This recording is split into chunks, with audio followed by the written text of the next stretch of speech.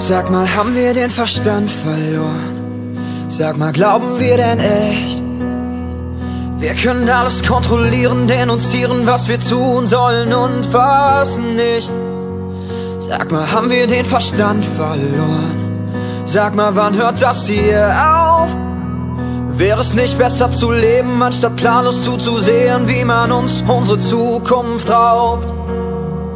Wir sind so viele Menschen, so viele Potenziale, so viele Macher, Kreative und Geniale, so viele Träume wir machen uns bereit, denn es kommt die Zeit, Zeit, dass wir wieder selber